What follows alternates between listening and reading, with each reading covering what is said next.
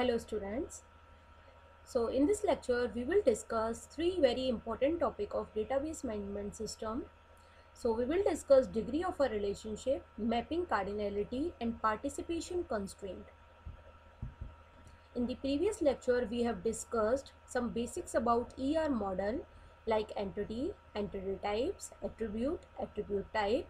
We have discussed key and key attribute we have also discussed relationship with the help of that we have also discussed relationship set as well as we have seen some example of ER diagram. In this lecture we will discuss what are the various type of degree in the relationship like unary, binary and ternary relationship what what is mapping cardinality and what is participation constraint present in ER diagram. So every relationship uh, type has main components. Uh, first one is name, name of the relationship which we uh, already given to the relationship whenever we are designing the ER diagram. With the help uh, with uh, with the addition of that we need to know the degree of the relationship, how many entities are participation participating in that present relationship, what is mapping cardinality, how to map that uh, relationship with the help of those entities which are in relationship? And what is participation constraint? What is the participation of those entities in the relationship? So let's start with degree of relationship. So what is the degree of a relationship degree expresses the number of entity sets associated or participated in relationship set. So in a relationship set how many number of entities are participating? That is known as degree of the relationship. Commonly we can see uh, relationship of degree 1 which is known as unary relationship relationship of degree 2 known as binary relationship relationships of degree 3 known as ternary relationship. Let's have some example. Employee manager of employee is a unary relationship. Here we can see employee entity entity is the only entity which is participating in this relationship. And the relationship is manager of a single employee uh, entity uh, from where there can be so many employees which are participating in relationship. And every employee is the manager of some other employee so from the employee side there can be one employee which can be the manager which can which is managing other employees so this is the example of unary relationship because only one entity is participating other example is employee works for department is a binary relationship. Here we can observe two entities like employee and department. So these two entities are having relationship which is works for. So employee entity set uh, is having relationship with department entity set and the relationship is works for. So employees are working for the department. So this is binary relationship because two entity sets are participating customer purchases item from the shopkeeper here we can see them so customer is an entity set item is an entity set and shopkeeper is the another entity set so customer purchase the item and the shopkeeper so we are having three entity set in relationship customer item and shopkeeper. So this is a ternary relationship. Ternary relationship are those relationship where three entity sets are participating. So let's have an example of unary relationship. Here we can see this mm, this is the entity set which is employee and here is the relationship manages. So employee manages employee. So in this relationship only one entity is participating which is employee so this is the example of unary relationship. Why it is unary relationship? Because it is only having one entity set as a participate uh, participant which is participating in the relationship manages. So here we can see employee manages employees. So this entity set is having various employees and from these employees one of the employees manages the other employees. So here we can see only one entity is participating here uh, we are having another example. A person is married to a person. So at a one point of time only a person can marry only the one person. So this person is married to a person. Only one entity is participating. That's why it's a unary relationship. So a unary relationship is represented as a diamond which contains one entity to itself as a loop. Okay, so we have also seen these two examples. Here we can see employee manages other employee so you can use some roles as well as like uh, i have written some roles like subordinates and manager. So employees which are subordinate that is being managed by some manager. Here some numbers are written like 1 and m. So i will discuss later what are these numbers. So role names role names can be described with uh, relationships here. So role, role names may be added to make the meaning more explicit to make it uh, more understandable here we can see binary relationship. Binary relationships are those relationships in which two entity sets are participating. Here we can see employee is the entity set and department is the other entity set. So employee works for department. Uh, so in this relationship two entities are participating. That's why it is a binary relationship. So a relationship between two entities are known as binary relationship ternary relationship a relationship in which three entities are participating known as ternary relationship. Here doctor medicine and patients are three entities and it is participating in the relation participation. So we are having these three entities uh, which is describing doctor is uh, giving some prescription to the patient and it is prescribing some medicine.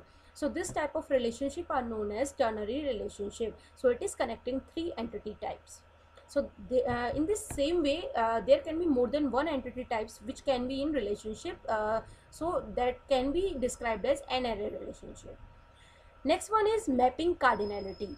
Expresses the number of entities to which other entities can be related via relationship. So mapping cardinality basically describes how one entity set is related to other entity set in which we are describing the relation between the entities. So here we can see uh, there are two sets like set A and set B. Set A contains some entities like uh, let us suppose this set as an entity set and these blocks as a entities so we are having this entity set a and entity set b entity set a is having some entities like a1 a2 and a3 entity set b is having some entities like b1 b2 b3 b4 and b5 so this entity set a1 is connected with the other entities in the entity set b like b1 and b2 this entity set a2 is connected uh, with the other entities in the entity set capital b which is B3 and B4. A3 is connected with B5. So uh, mapping cardinality basically describe how entities in one entity set is connected with the entities in the other entity set. So it is useful in describing relationship sets of any degree. So there can be four types of cardinality, one to one, one to many, many to one and many to many. So let's understand what is one to one mapping when one entity from the entity set A can be associated with at most one entity of the entity set B and vice versa. That means from this entity set A and some entities are connected with the entities of uh, entity set B but they should be connected by one entity should be connected with only one entity in the other entity set. So this type of relationship is known as one to one. It may be possible that some entities are not connected with any other uh, any other entity that is all right okay. So this type of connection is known as one to one cardinality or one to one mapping so uh, we can understand is like uh, let us suppose this entity set a is having some uh, student as the entity and entity set b is containing some ids for those student so one student is on can only be connected with one id uh, one student cannot have more than one IDs. In the same way, more than one IDs cannot be connected with more than one student. So, one student cannot have two IDs or two IDs cannot refer to the same student. So, that means uh, this can only have one-to-one -one relationship. Next one is one-to-many relationship. One-to-many relationship set entity set A can associate with multiple entities of B like we can see here A1 is connected with B1 and B2, A2 is connected with B3 and B4 but it may be possible that some entities in entity set A is only connected with one to one way. Okay, so one important thing is uh, one to one is also the part of one to many okay one entity from the entity set a can be associated with multiple entities of entity set b but an entity of entity set b can can be associated with at most one entity. That means in entity set b it will not be occur like b1 is connected with a1 as well as it is connected with a2 so that cannot be possible. Only uh, one entity from the entity set a can be connected with more than one entity. So from here it is like one to many and from here it can be like many to 1 so one class can can contain so many students but it will not be the case like one student is part of the two classes. Next one is many to one. So uh, from many entities from the set a can be connected with single entity will be connected with single entity in b but it will not be the case like b is connected uh, uh, some entities like a1 is connected with b1 and it, it can also be connected with b2 that cannot be the case okay? So many student in the class uh, many student uh, in the class belong to a single class. So this is what many to one next one is many to many. That means uh, one or many entity from the set a can be connected to one or many entities from the set, entity set b. Let's have a very easy example for that. So student as a group are associated with multiple faculty member and faculty members can be associated with multiple student. So many student can be connected with many faculties. Let's have some example for unary relationship. Here we can see uh, one person is married to a one person at a time. So we are having uh, some cardinality uh, values like 1 1 i have written 1 1 over there. So person one person is married to only one person. So one person is uh, from this entity set will be married to only one person at a time so this is one to one unary relationship one to one uh, because one uh, entity from this person is connected to the other one entity from the same entity set and unary because only one entity is participating in this relationship one to many unary relationship mm, one to many unary because only one entity is participating this relation because employee is managing some other employees and one to many because only one employee will manage many employees. So here you can say i am writing one over there so one employee will be manages many employees. So here i am writing m many for many. So one employee is managing many employees. So this is one to many mapping many to one uh, binary relationship. That means here we can see example for binary relationship. Binary because two entity sets are participating one uh, many to one because many employees works for a single department. Because many employees work so i am writing i am writing here m it works for only a single department. That's why it is one written over there. There are various ways to representing the mapping cardinality like you can use arrow for representing the single entity uh, participation. So uh, as i am writing one over there you can use a arrow directional arrow over there so that you can represent only one entity is participating. Okay for many uh, there can be other cases like for many uh, if you are writing arrow here then you will leave uh, just a line over there or if you are writing one over uh, one over there then you can use either m or n or you can use stars for representing ma many cases. Okay? So many employees works for a single department. So this is many to one case. One to one binary relationship binary obviously because two entity sets are participating. One to one because one employee has only one i card. Uh, one employee cannot have uh, more than one i card as well as only one iCard will be assigned to a employee. Many to many binary relationship, many books has many authors. Uh, books can have many authors as well as authors can write many books many different different books so that can be the case so that's why it is written m and n over there because both are representing many case next one is participation constraint Participation constraint specifies the existence of an entity when it is related to another entity in the relationship. So it uh, basically describe how one entity is related to other another entity in relationship set or relationship. So here we can see uh, there are two cases like minimum cardinality can be there and maximum cardinality can be there. Minimum cardinality means it defines the minimum number of times an entity in the entity set participated in the relationship. So minimum cardinality will describe how, how minimum number of entities will participate in the relationship and maximum cardinality will, will describe how many maximum number of entities can participate in the relationship. So you can focus here for the example. Uh, we are having example for uh, for this particular movie and actor relationship movie is an entity set actor is an entity set uh, here we can see the relation movies has some actors uh, so we can see many movies. We i am writing m and n there. Many movies can have many actors and actors can can have uh, where uh, in which that actor is working that can have many movies. Okay so this is what about m and n represent the mapping i'm talking about participation constraint now. So these tp and pp and these brackets uh, written over there that will describe participation constraint.